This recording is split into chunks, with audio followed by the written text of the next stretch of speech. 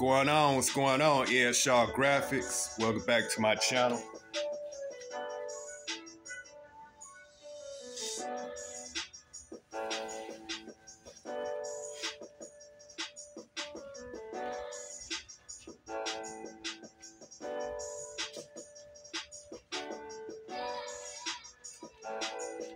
Yeah, I got print 16 shirts. More like 32 shirts because I got to print the front and the back.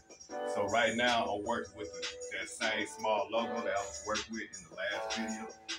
So I'm finally getting started here as far as uh, the printing process. Just a one color print that's going on the uh, left hand side of the shirt at the top. Subscribe to your boy channel, Ed Shaw Graphix. Way you keep up with what's going on here at the shop.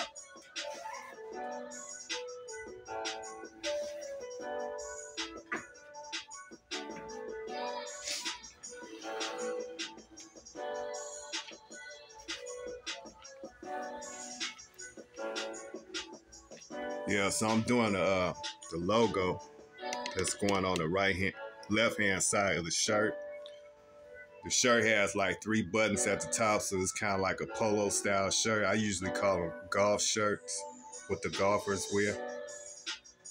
And these would be all black shirts with the white print.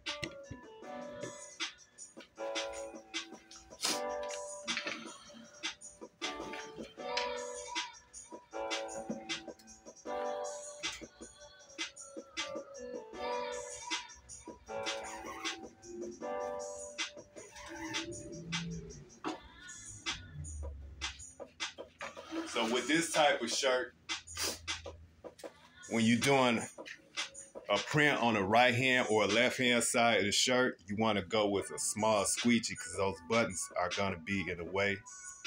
It's going to be right at the middle, top mid mid section of the screen. So you can't use a wide squeegee. You have to use a small squeegee. And that's all you need anyway. anyways, a small squeegee because the logo is small.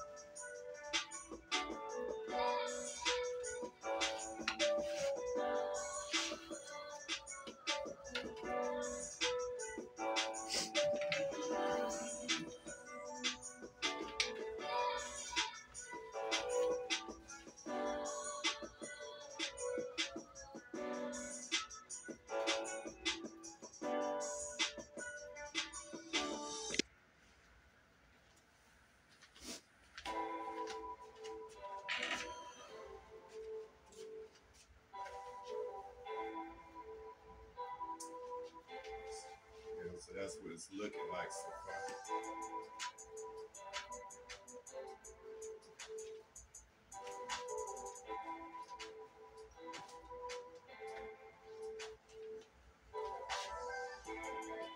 so once I get done with all the fronts, then I gotta do the back sides, then that'll be it.